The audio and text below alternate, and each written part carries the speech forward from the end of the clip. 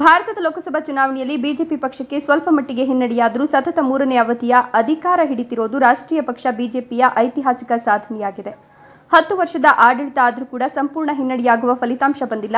ಭಾರತೀಯ ಜನತಾ ಪಕ್ಷ ಸ್ವಂತ ಬಲದಿಂದ ಅಧಿಕಾರ ಹಿಡಿಯುವಷ್ಟು ಬಹುಮತ ಬಂದಿಲ್ಲ ಎಂದರೂ ಕೂಡ ಅಧಿಕಾರ ಹಿಡಿಯೋದು ಖಚಿತ. ಇದು ಸ್ವಾಗತಾರ್ಹ ಫಲಿತಾಂಶ. ಸಂಪೂರ್ಣ ಮುಸ್ಲಿಂ ವರ್ಗ ಭಾರತೀಯ ಜನತಾ ಪಾರ್ಟಿ ವಿರುದ್ಧ ಇದ್ರೂ ಕೂಡ ಇಷ್ಟು ಸ್ಥಾನ ಬಿಜೆಪಿ ಪಡೆದಿರೋದು ಮುಂದಿನ ರಾಜಕೀಯ ಭವಿಷ್ಯಕ್ಕೆ ಇದು ಉತ್ತಮ ಸಂದೇಶ. ಈ ಹಿಂದೆ ವಾಜಪೇಯಿ ಸರ್ಕಾರ ಇಪ್ಪತ್ತಾರು ಪಕ್ಷಗಳನ್ನು ಒಟ್ಟಾಗಿಸಿ ಸಮರ್ಥವಾದ ಆಡಳಿತ ನಡೆಸಿದ್ರು. ಈಗಲೂ ಕೂಡ ಮೋದಿಜಿಯವರು ಸಮರ್ಥವಾದ ಆಡಳಿತ ನಡೆಸ್ತಾರೆ ಅನ್ನೋ ವಿಶ್ವಾಸವಿದೆ. ಕಲ್ಯಾಣ ಕರ್ನಾಟಕದಲ್ಲಿ ಬಿಜೆಪಿ ಸೋಲಿಗೆ ಬಿಜೆಪಿಯ ಆಂತರಿಕ ಕೆಲವು ಭಿನ್ನಾಭಿಪ್ರಾಯ ಮತ್ತು ಮೊದಲಿನಿಂದಲೂ ಈ ಭಾಗದಲ್ಲಿ ಕಾಂಗ್ರೆಸ್ ಪಕ್ಷದ ಒಲವು ಹೆಚ್ಚಿರೋದ್ರಿಂದ ಜೊತೆಗೆ ಕೆಲವು ಗ್ಯಾರಂಟಿ ಯೋಜನೆ ಹಾಗೂ ಕೆಲವು ಕಡೆ ಅನುಕಂಪದ ಅಲೆ ಇರೋದ್ರಿಂದ ಈ ರೀತಿ ಕಲ್ಯಾಣ ಕರ್ನಾಟಕ ಭಾಗದಲ್ಲಿ ಬಿಜೆಪಿ ಪಕ್ಷ ಹಿನ್ನಡೆ ಇರಬಹುದು ಅಂತ ನಮ್ಮ N K S TV four ವಾಹಿನಿಯ ಸಂದರ್ಶನದಲ್ಲಿ ಮಾಜಿ ಸಂಸದ ಕೆ ವಿರೂಪಾಕ್ಷಪ್ಪ ಹೇಳಿಕೆಯನ್ನು ಕೊಟ್ಟಿದ್ದಾರೆ. Venkatesha Nayka N K S TV four, Sindhanur. ಭಾರತದ ಲೋಕಸಭಾ ಚುನಾವಣೆಯ ಫಲಿತಾಂಶ ಮತ್ತು ಕರ್ನಾಟಕ ರಾಜ್ಯದ ಲೋಕಸಭಾ ಫಲಿತಾಂಶ.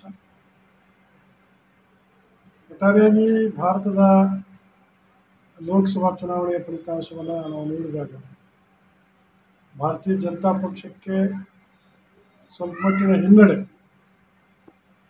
ಪಕ್ಷದ ನಾಯಕರು ರಾಜ್ಯ ಮಟ್ಟದ ನಾಯಕರು ಅಥವಾ ರಾಷ್ಟ್ರೀಯ ಮಟ್ಟದ ನಾಯಕರ ನಿರೀಕ್ಷೆಯಂತೆ ಪಕ್ಷ ಜೈಬೇರಿಯನ್ನು ಒಂದೇ ಹೋಗಿದ್ದರೂ ಕೂಡ ಭಾರತದ ಇತಿಹಾಸದಲ್ಲಿ ಮೂರನೇ ಸಲ ಒಂದು ರಾಷ್ಟ್ರೀಯ ಪಕ್ಷ ಅಧಿಕಾರಕ್ಕೆ ಬರುವ ಮಟ್ಟಕ್ಕೆ ಬಂದಿರತಕ್ಕಂಥ ಒಂದು ಫಲಿತಾಂಶ ಸುಖದಾಯಕವಾದಂಥ ಫಲಿತಾಂಶ ಫಲಿತಾಂಶ ಮತ್ತು ಬಹಳ ಸಂತೋಷದ ಫಲಿತಾಂಶ ಅಂತ ಹೇಳಿ ಕೂಡ ನಾನು ಇಷ್ಟಪಡ್ತೇನೆ ಹೇಳಲಿಕ್ಕೆ ಇಷ್ಟಪಡ್ತಾ ಇದ್ದೀನಿ. ಹತ್ತು ವರ್ಷದ ಆಡಳಿತದ ನಂತರವೂ ಕೂಡ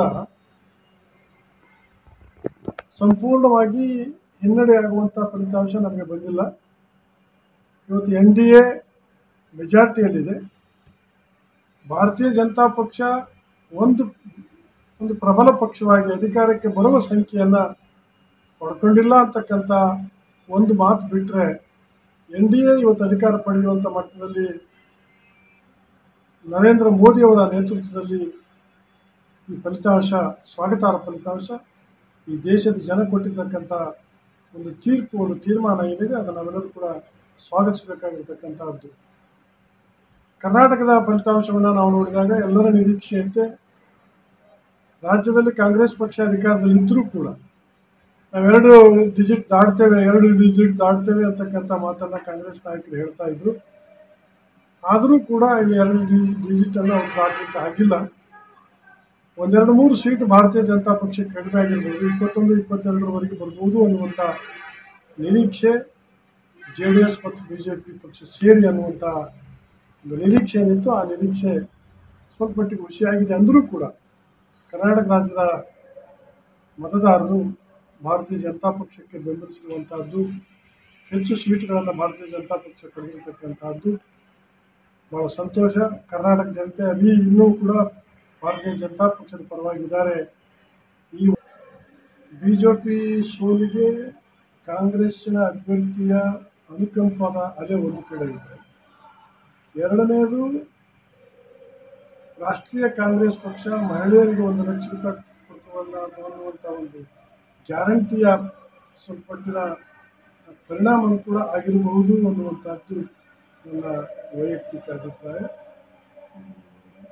ಪಕ್ಷ ಅಭ್ಯರ್ಥಿಯನ್ನು ಹೊಸದಾಗಾಯಿತು ಅನ್ನುವಂಥದ್ದು ಏನೇ ಇದ್ದರೂ ಕೂಡ, ಈ ಸಿಂಧನೂರಲ್ಲಿ ನಮ್ಮ ನಿರೀಕ್ಷೆ ಇತ್ತು ಒಂದು ಇಪ್ಪತ್ತು ಸಾವಿರ ಲೀಡ್ ಬರ್ಬೋದು ಅಂತೇಳಿ. ಆದರೆ ಆಗಲಿಲ್ಲ. ಐದು ಸಾವಿರ ಲೀಡ್ ಆಗಿದೆ. ನನಗನ್ನಿಸ್ತದೆ ಎಲ್ಲೋ ಒಂದು ಕಡೆ ಈ ಕಲ್ಯಾಣ ಕರ್ನಾಟಕ ಭಾಗ ಒಟ್ಟಾರೆಯಾಗಿ ನಾವು ಆರು ಸೀಟ್ಗಳನ್ನು ಇಲ್ಲಿ ಕಳ್ಕೊಂಡಿರ್ಬೇಕಂತ ಆರು ಏಳು. ಕೊಪ್ಪಳ, ಬಳ್ಳಾರಿ, ರಾಯಚೂರು, ಗುಲ್ಬರ್ಗ, ಬೀದರ್. ಆರು ಸೀಟ್ಗಳನ್ನು ನಾವು ಬೇಜಾರಾಗಿ ಒಂಬತ್ತರಲ್ಲಿ ನಾವು ಕಳ್ಕೊಂಡಿರ್ತಕ್ಕಂಥದ್ದು. ಮೊದಲಿಂದಲೂ ಕೂಡ ಕಲ್ಯಾಣ ಕರ್ನಾಟಕ ಭಾಗದಲ್ಲಿ ಸ್ವಲ್ಪ ಕಾಂಗ್ರೆಸ್ಸಿನ ಪ್ರಾಬಲ್ಯ ಇರುವಂತಹದ್ದು. ಆ ಕಾಂಗ್ರೆಸ್ನ ಪ್ರಾಬಲ್ಯದ ಜೊತೆಯಲ್ಲಿ ಬಿ ಜೆ ಪಿಯಲ್ಲಿ ಆಂತರಿಕ ಭಿನ್ನಾಭಿಪ್ರಾಯ. ಇದು ಬೀದರ್ನ ಭಿನ್ನಾಭಿಪ್ರಾಯ ಇರ್ಬೋದು, ಗುಲ್ಬರ್ಗಾದ ಭಿನ್ನಾಭಿಪ್ರಾಯ ಇರ್ಬೋದು, ರಾಯಚೂರಿನ ಭಿನ್ನಾಭಿಪ್ರಾಯ ಇರ್ಬೋದು. ಈ ರೀತಿ ಭಾರತೀಯ ಜನತಾ ಪಕ್ಷದ ಭಿನ್ನಾಭಿಪ್ರಾಯ ಸ್ವಲ್ಪ ಮಟ್ಟಿಗೆ ಕಾಂಗ್ರೆಸ್ಸಿಗೆ ಅನುಕೂಲ ಆಯ್ತೇನೋ ಅನ್ನುವಂಥದ್ದು ನಮ್ಮ ಅಭಿಪ್ರಾಯ.